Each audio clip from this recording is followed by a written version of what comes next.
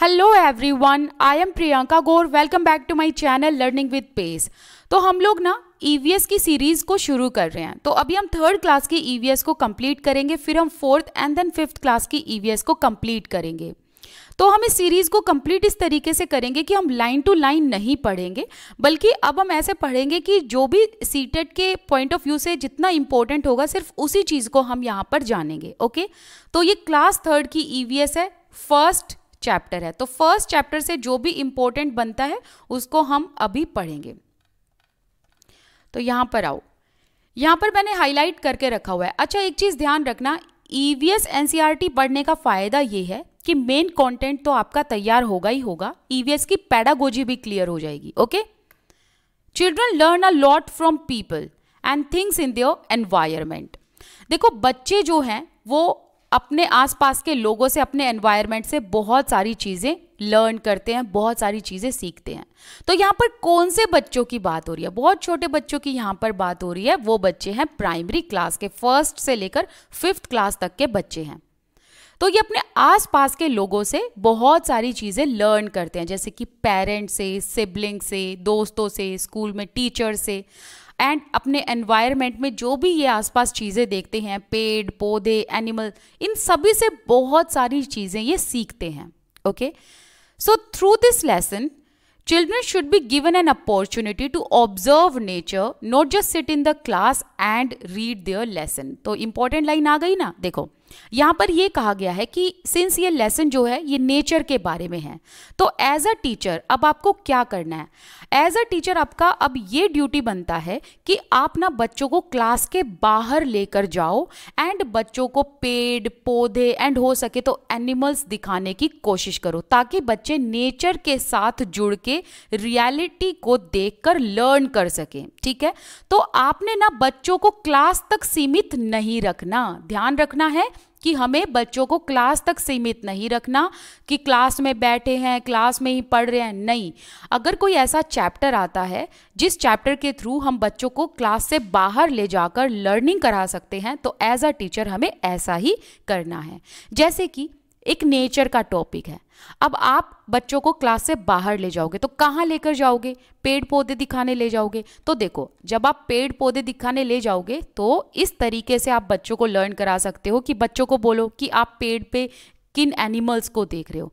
हालाँकि एनिमल्स में वो पीजन को भी गिनेंगे, वो क्रो को भी एनिमल्स में गिनेंगे, वो इनको बर्ड नहीं मानेंगे। क्यों? क्योंकि बच्चे अभी छोटे हैं, उनको एनिमल्स का क्लासिफिकेशन नहीं आता। तो बच्चे यहाँ पर सभी का नाम बता देंगे। यहाँ पीजन है, यहाँ स्क्वेरल है, यहाँ क्रो है, यहाँ मंकी है, यहाँ जो है चीटियाँ हैं। ये सारी एंड्स मतलब ये सारी चीज़ें बच्चे बता देंगे। तो इससे होगा क्या? देखो बच्चे ना रियल लाइफ के साथ अपनी लर्निंग को जोड़कर लर्न करेंगे। ठीक है? अब चलिए, आगे वाले पॉइंट पे चलते हैं। यहाँ पर, ये भी बहुत इंपॉर्टेंट है। तो देखो, इस बुक में आप नोटिस करोगे कि insect birds reptiles and mammals इन सभी के लिए सिर्फ़ एक वर्ड यूज़ किया गया है एनिमल लेकिन ऐसा क्यों है? ऐसा इसलिए है क्योंकि एट दिस एज बच्चे अभी बहुत छोटे हैं प्राइमरी क्लास के बच्चे हैं so they can not classify animals into different categories तो इतने बच्चों को नहीं पता कि insect bird reptiles and mammals में क्या डिफरेंस होता है? तो इसीलिए इस बुक के चैप्टर में एनिमल्स लिखा हुआ है insect bird reptile and mammals के लिए। क्योंकि बच्चों को जो है डिफरेंट एनिमल्स की डिफरेंट कैटेगरीज का क्लासिफिकेशन नहीं आता तो ये भी लाइन बहुत इंपॉर्टेंट हो जाती है। ध्यान रखनी है ये चीज़ें आपने okay okay? Now try to find out what children understand by the word animal अब एज अ टीचर आप पहले तो ना बच्चों से ये पूछोगे कि बेटा एनिमल वर्ड का मतलब क्या होता है?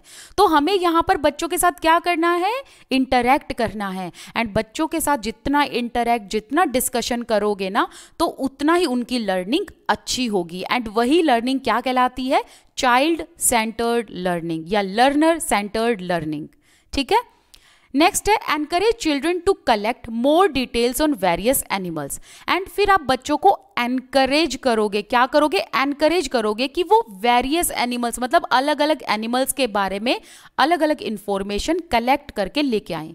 तो अब बच्चे कहाँ से कलेक्ट करेंगे? घर जाएँगे, घर के आसपास एनिमल्स देखेंगे। तो वो क्या करेंगे ना, अभी अपने आसपास की जो रियलिटी है, उससे कनेक्ट होकर, उससे कांटेक्ट करके रियलिटी के साथ फिर वो लर्निंग करेंगे ओके चलिए। और यही हमारा मेन मकसद है। देखो, आपने एक चीज़ पढ़ी होगी पैडागोजी में। यही हमारा मेन मकसद है कि बच्चे अपनी लर्निंग को ना रियल लाइफ के साथ अगर जोड़ेंगे तो उनकी लर्निंग सुपर्ब होगी, है ना?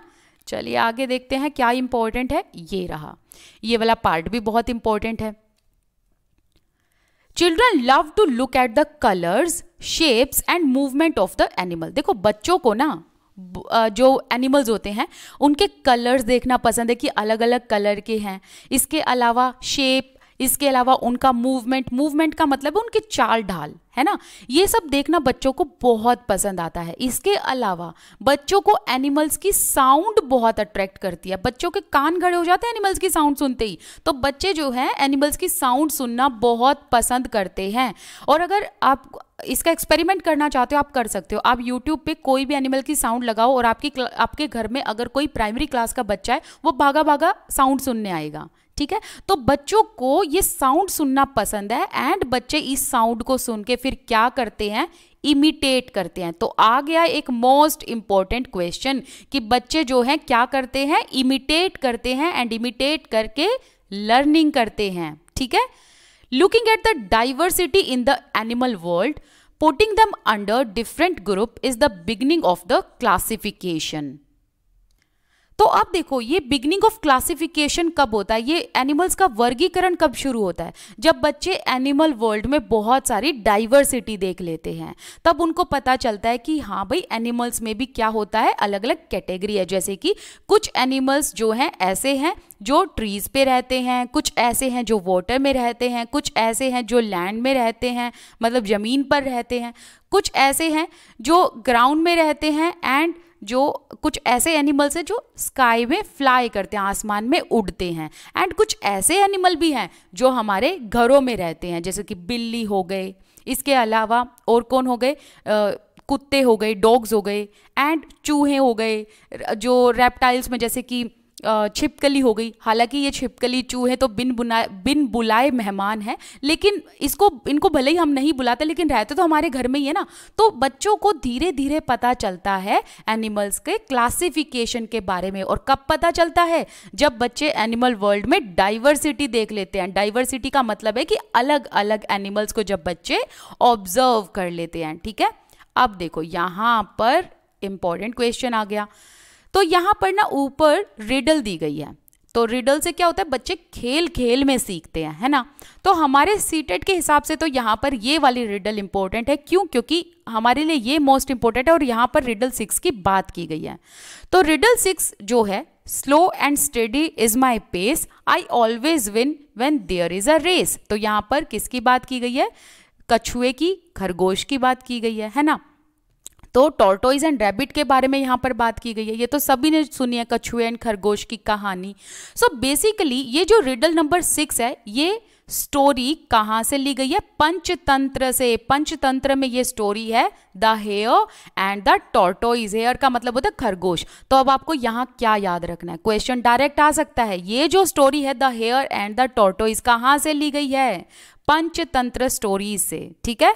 So tell children other stories from Panchatantra. अब आपने बच्चों को पंचतंत्र के बारे में बताना है, पंचतंत्र की और स्टोरीज के बारे में बताना है एंड उनको एनकरेज करना है कि वो स्टोरीज पढ़ें, ठीक है?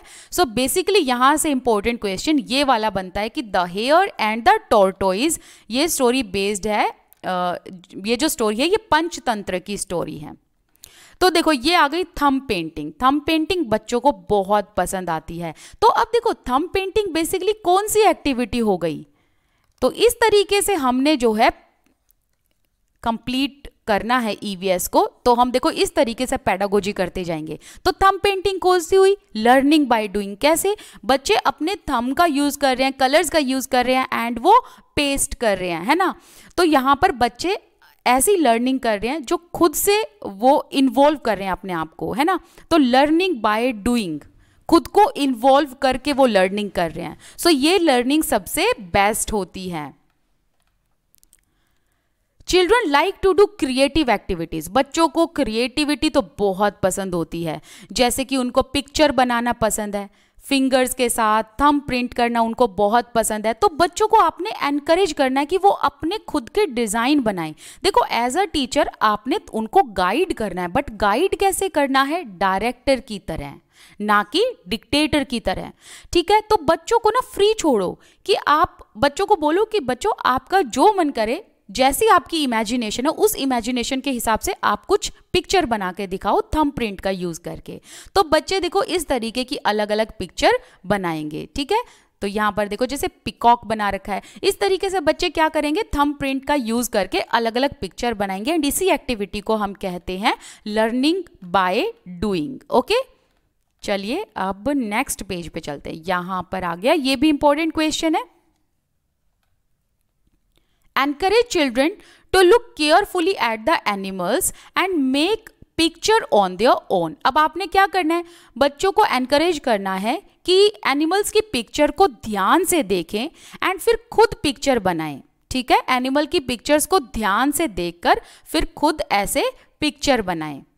तो बच्चों की यहाँ पर इमेजिनेशन डेवलप होगी okay children may need help when they are making picture in a group तो जब बच्चे ग्रुप में ये वर्क कर रहे होंगे तो यहाँ पर बच्चों को हेल्प की ज़रूरत पड़ेगी। तो एज अ टीचर आपने बच्चों को बीच में गाइड करते रहना है।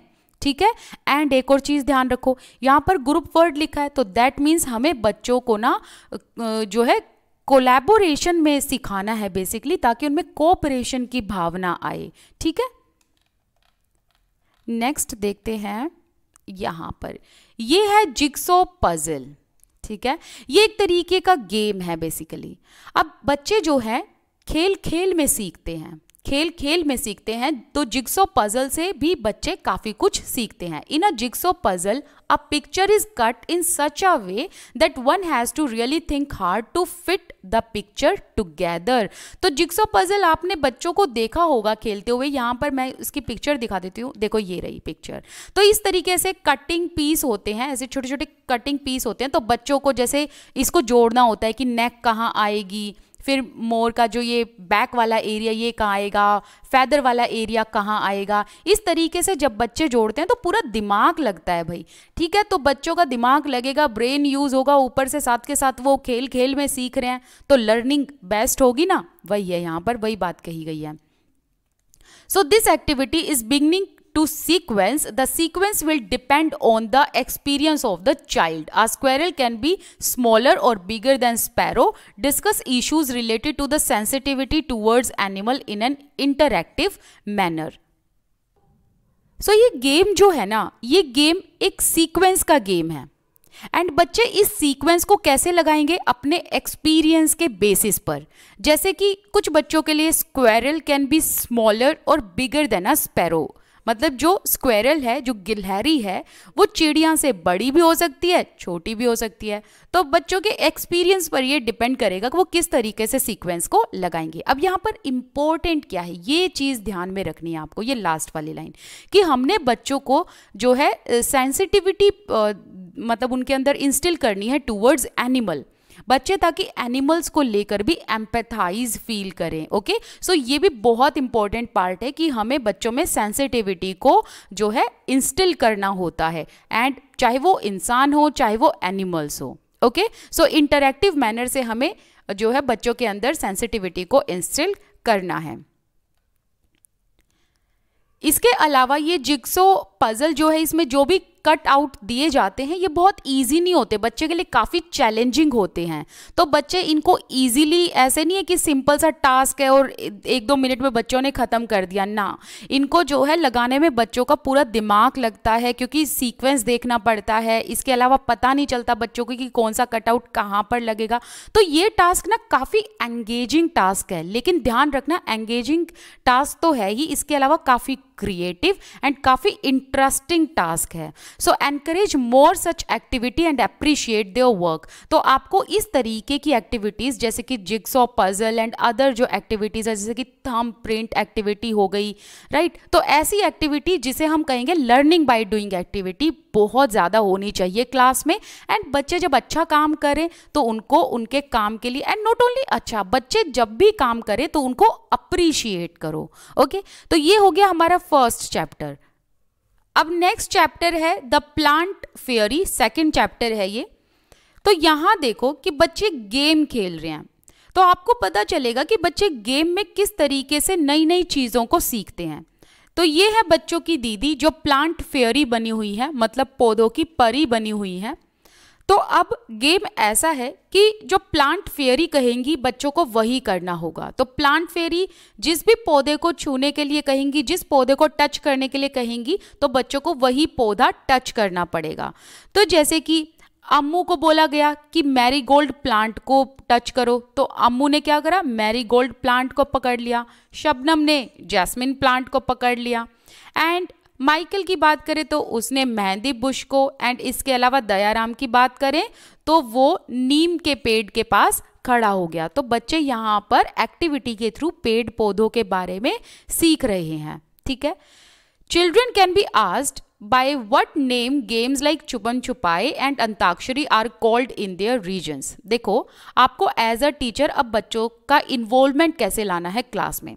आप बच्चों के साथ जब ये गेम खेलें अंताक्षरी छुपम छुपाई तो आप बच्चों से ये भी पूछें कि उनके रीजन में, उनके एरिया में छुपम छुपाई को क्या कहा जाता है अंताक्षरी को क्या कहा जाता है?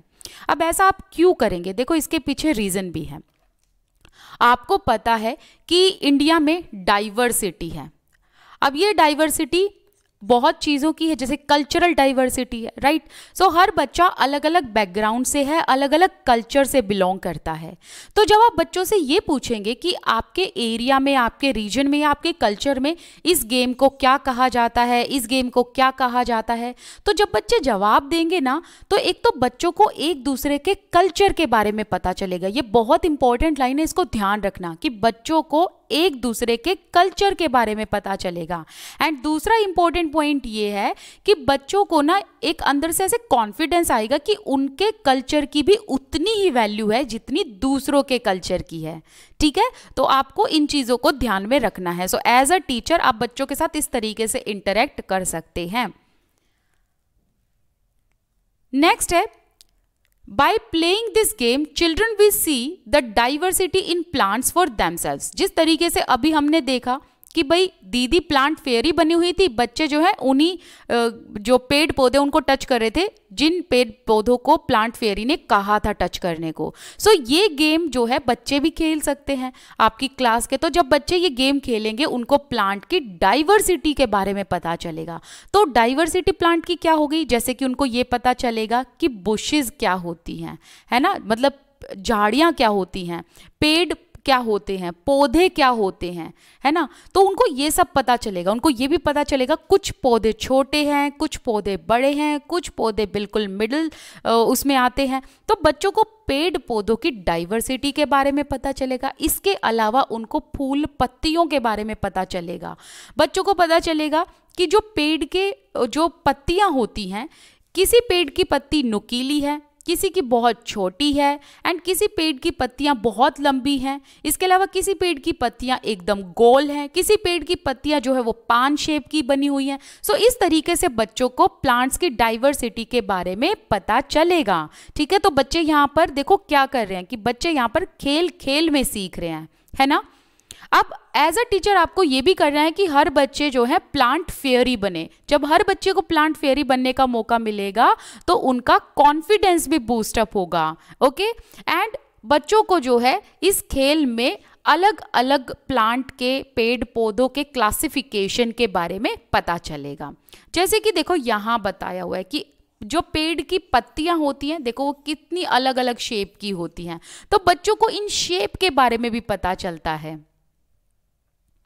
Now children may collect different type of fallen leaves, find out the name of their plants. अब ये एक एक्टिविटी दी जा सकती है कि बच्चे जो हैं वो गिरी हुई जितने भी ज़मीन पर गिरी हुई पत्तियाँ हैं उनको उठाएँ और उनसे फिर पता लगाएँ कि ये कौन से पेड़ की लीव्स होंगी। ठीक है?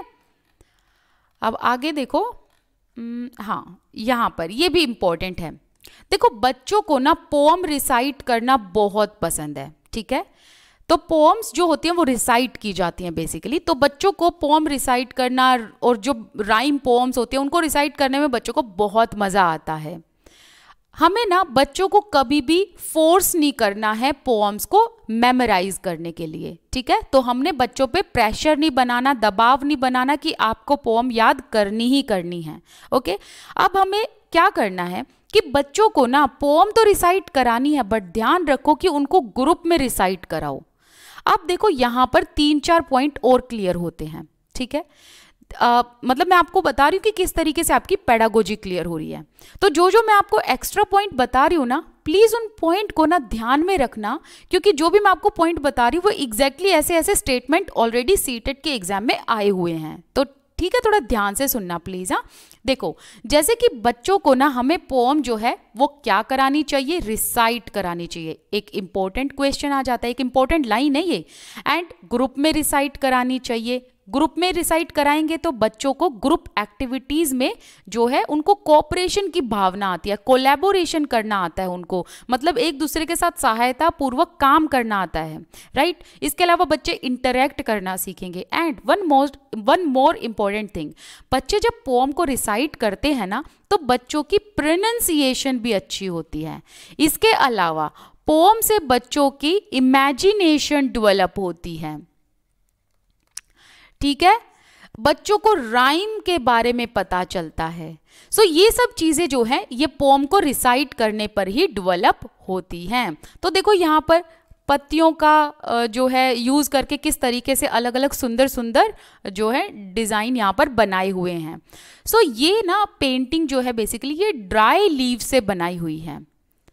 नॉट पेंटिंग बेसिकली पिक्चर तो एक आर्टिस्ट हैं जो इंदौर मध्य प्रदेश से बिलोंग करते हैं, बहुत इंपॉर्टेंट हो गया। इसको तो तीन बार स्टार कर लेना, ठीक है? तो आर्टिस्ट का नाम क्या है? विष्णु चिंचलाकर। तो विष्णु चिंचलाकर जो है ना, वो ड्राई लीव से पिक्चर्स बनाते हैं एंड उन्हीं से इंस्पायर होकर यहाँ पर ये लगाई हुई हैं पिक्चर्स तो ऐसे ड्राई लीव्स मतलब जो सूखी पत्तियाँ हैं ना, उनसे ऐसे पिक्चर बनाते हैं। ये नाम आपको ध्यान रखना है, ये इंपॉर्टेंट है डायरेक्ट क्वेश्चन आ जाएगा, ठीक है? अब नेक्स्ट है। हम्म, ठीक है यहाँ पर।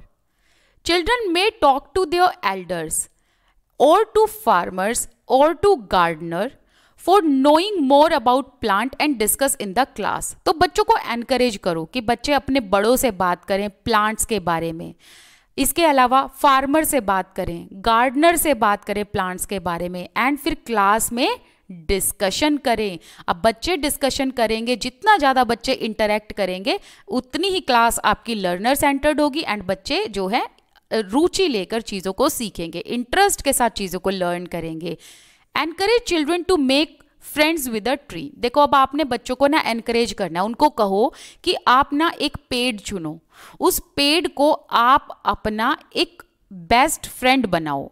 उसे डेली पानी दो उसका ध्यान रखो, उसको ऑब्ज़र्व करो एंड माइन्यूटली ऑब्ज़र्व करो। बिल्कुल ध्यान से आपने अपने पेड़ को ऑब्ज़र्व करना है क्योंकि अब वो पेड़ आपका क्या है? एक दोस्त है।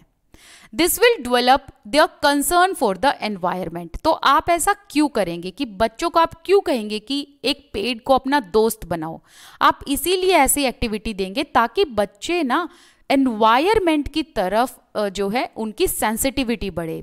उनको अपने राइट्स के बारे में पता चले कि भाई हमें एनवायरमेंट में जो है, क्या करना है, अपना योगदान देना है। एनवायरमेंट साफ़ सुथरा रहे एनवायरमेंट होता क्या है, इन सब चीज़ों के बारे में बच्चों को पता चलेगा राइट इसके अलावा बच्चों को पेड़ पौधों की अहमियत पता चलेगी, ठीक है? तो इस तरीके की एक्टिविटीज़ बहुत ही अच्छी होती हैं। आई थिंक सेकेंड चैप्टर में तो बस अभी इतना ही है, ठीक है? सो so, यहाँ पर हमारा जो फ़र्स्ट एंड सेकेंड चैप्टर है वो कंप्लीट होता है एंड इसके अलावा इसी तरीके से हम अदर चैप्टर्स को भी कंप्लीट करेंगे। चलिए मिलते हैं नेक्स्ट क्लास में। Till then bye thank you so much for watching this video thank you आप मेरे साथ इंस्टाग्राम एंड टेलीग्राम पर भी जुड़ सकते हैं।